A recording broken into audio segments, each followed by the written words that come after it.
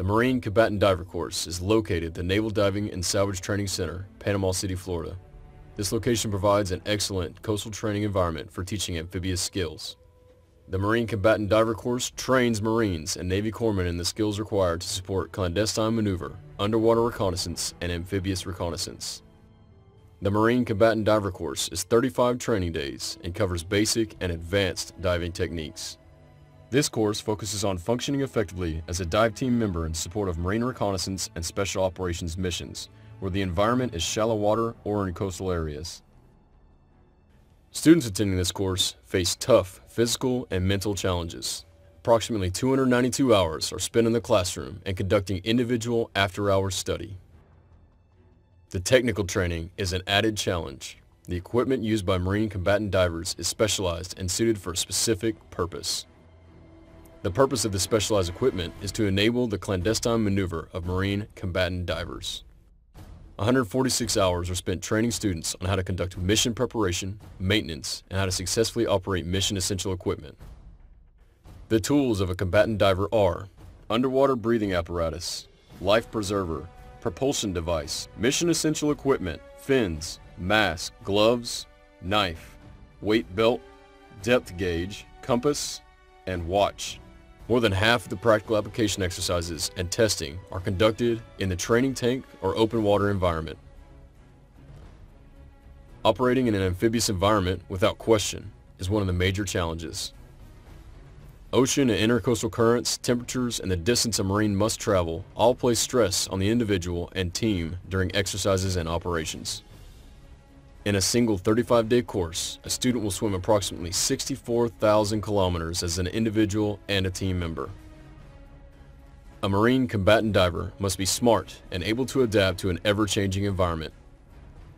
He must understand environmental physics and medicine as it relates to a military diver. Most of this is taught in the classroom and is reinforced in field exercises. Enter the water! During open ocean training, a diver must constantly assess many environmental and operational factors to achieve success. Underwater and surface navigation must become second nature. The proper operation of specialized equipment is critical to surviving in this environment and the combatant diver is trained to have a thorough understanding of its use.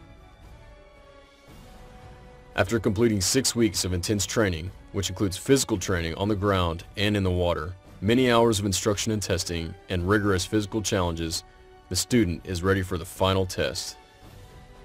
For the final phase of training, the class is divided into small four to six man teams, as is done in the operating forces. The final training exercise begins with a warning order from higher. For the next 24 to 36 hours, the team focuses all efforts on the mission planning process, as is done during operations.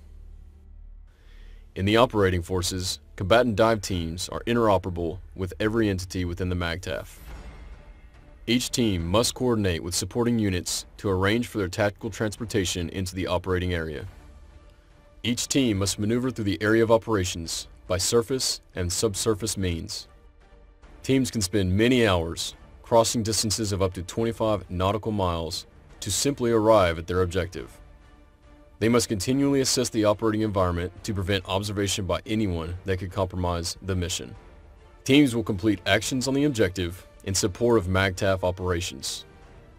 The missions combatant divers conduct range within the scope of full spectrum operations. No matter what the mission objective is, combatant divers will increase the MAGTF commander's understanding of the operational area by observing and communicating the on-ground reality of the situation.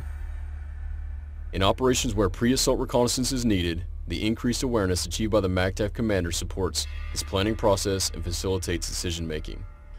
Combatant divers also provide the commander with information about the hydrographic characteristics of a particular area, well in advance of amphibious landing force. This includes subsurface, detailed hydrographic surveys in support of all U.S. Navy landing craft and Marine Corps amphibious assault vehicles. During advanced force operations, teams precede the main body to an objective area and set the conditions to enable the main body to assault the objective. Combatant divers support advanced force operations by providing confirmatory beach reports, effects on the terrain and weather on friendly and enemy forces, military aspects of KOCOA, the seizure of supporting positions through specialized limited scale raids, providing terminal guidance and battle damage assessment to offensive airstrikes, initial terminal guidance of AAVs, tactical boats, amphibious ships, landing craft, or aircraft. The combatant diver capability can be categorized as part of specialized insertion and extraction methods and is usually conducted using clandestine, surface and subsurface means to gain access to the operational environment. Combatant diver teams play a key role in helping Marine commanders gain access to a highly varied coastal terrain early in operation phases and provide direct informational links to the MAGTF. When necessary, combatant divers conduct battle space shaping actions to support landing force access operations. Essentially, combatant divers help the commander increase his understanding of the operational environment, gain access to the operational area, and develop the situation to his advantage.